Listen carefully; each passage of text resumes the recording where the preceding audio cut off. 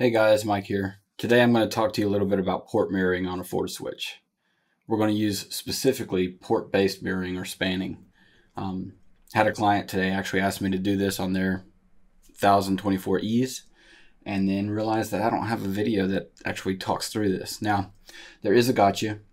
I don't have a FortiSwitch available that I can actually show on video. They all belong to clients, right? So I'm going to walk through the documentation and just talk about what's taking place when you configure a port-based mirror on a switch that supports it that happens to be managed by FortiLink. So let's jump in. First things first, you have a list of switches that are being managed by your FortiGate, right? And in our example, we're going to keep it very, very simple. Um, and this is specifically what we're looking at right here, to configure port-based mirroring. Basically what you do is whenever you're configuring a FortiSwitch that's being managed by a FortiGate, you always have to go into the config, switch controller, manage switch section. Why is that? Well, that's because the switches pull their config from the FortiGate. That's what gives you the ability to update their configuration template and let things go from there.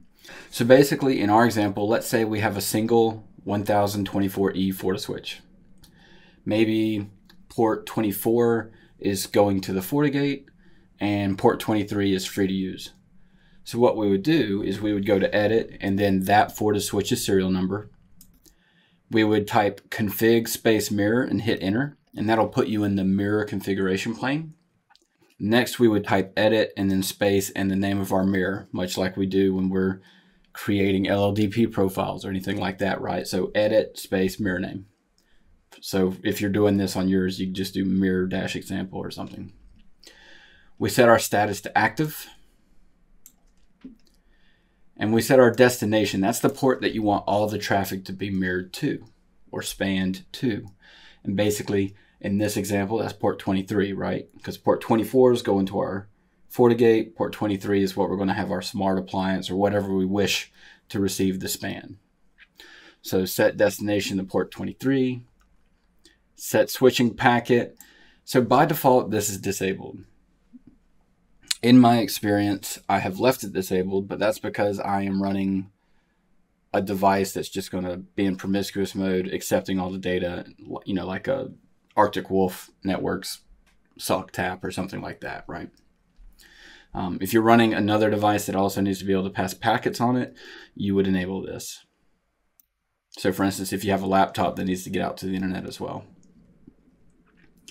set source ingress. Now we're interested in seeing all the traffic that's going from the switch up to the FortiGate, right? So we would set our source ingress to port 24. But just in the same, we're also going to set our source egress to port 24. That means any data that's coming into that port or leaving that port will be spanned off to port 23 as we configured it. And then you click next to get out of that specific mirror you do end to get out of the config mirror control pane, if you will. And then you do next to get out of that switch. And basically, what that does is that gives you the ability to say any traffic coming into or leaving port 24 needs to be spanned to port 23 so that my security device or my analytics device or whatever can receive that data and then do whatever it is it does.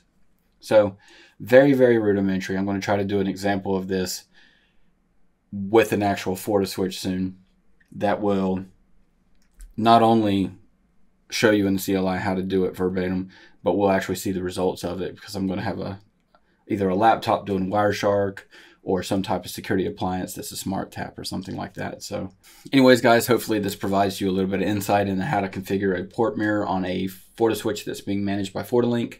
Um, you would think it would be a lot more straightforward and in the GUI by now, but C'est la vie. You know, Fortinet will eventually get it there. Anyways, do me a favor. If the video provided you value, hit like, hit subscribe. And if you haven't already, check out the Packet Llama channel. It doesn't have very many videos. I'm still working on how I'm going to approach it, but uh, it's going to be a lot more generic, if you will.